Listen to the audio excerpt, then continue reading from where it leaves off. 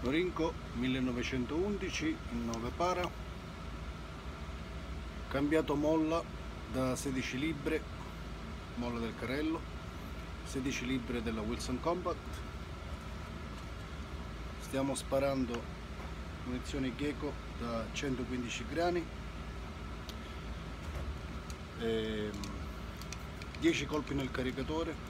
Faremo una rapida successione di colpi per vedere se eh, con fuoco veloce l'arma si inceppa oppure no.